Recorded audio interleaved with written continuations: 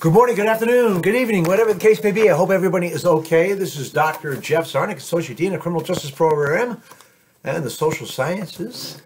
Here at Southern Hampshire University Global, I want to say hello here on August 11. Summer seems to be flying by and hope everybody's faring well in the heat wave. I know I'm drinking Dunkin's as I do every day. Habit forming, yes, indeed.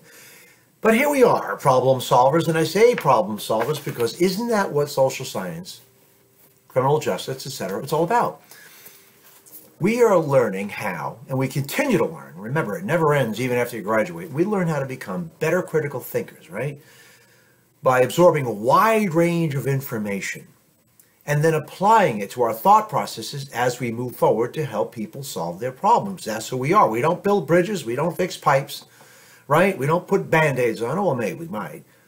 But our job is to negotiate. Our job is to recognize those problems and offer remedy and solution. But you can't do that if you're just guessing. And if you can't do that if you're just too distracted by the noise that may be surrounding the root of the problem. I, as a police officer, no problem was ever solved by shouting.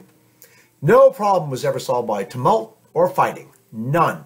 It was the art of skillful communication and negotiating.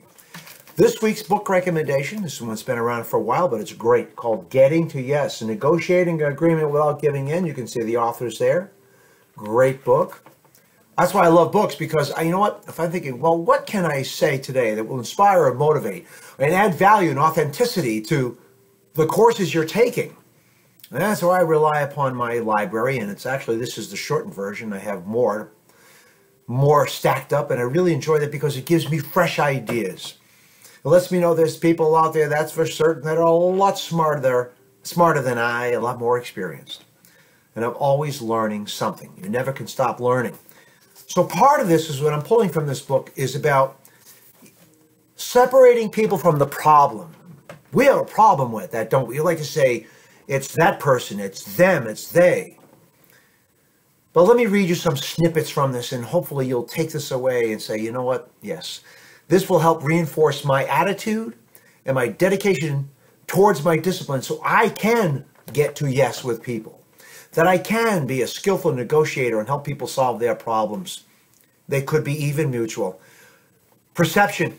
Understanding the other side's thinking is not simply a useful activity will help you solve the problem. Their thinking is the problem, right? No. Whether you're making a deal or settling a dispute, differences are defined by the difference between your thinking and theirs.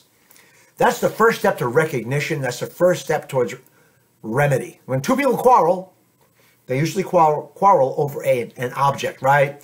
Both may claim a watch over or over an event. Each may contend that the other was at fault in causing an accident. Ultimately, though, however, conflict lies not in objective reality, but in people's heads. Think about that. Truth is simply one more argument, perhaps a good one, perhaps not for dealing with the difference. The difference itself exists between exists because it exists in their thinking. Fears, even if ill-founded, are real fears and need to be dealt with. Hopes, even if unrealistic, may cause a war. Facts, even if established, may do nothing to solve the problem. Isn't that distressing. Both parties may agree that one lost the watch and the other found it, but they still disagree over who should get it, right? Put yourself in their shoes. Empathy. Empathy is one of the greatest characteristics, one of the greatest tools any problem solver can have. How you see the world depends on where you sit.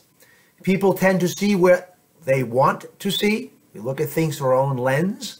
Out of a mass of detailed information, they tend to pick out and focus on just those facts that confirm their prior perceptions, right?